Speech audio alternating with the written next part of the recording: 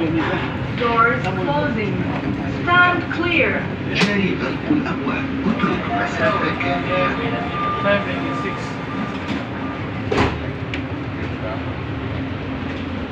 have the seat there. This train is for Al Aziziyah. The next station is Msheireb. Passengers are reminded not to leave their belongings unattended.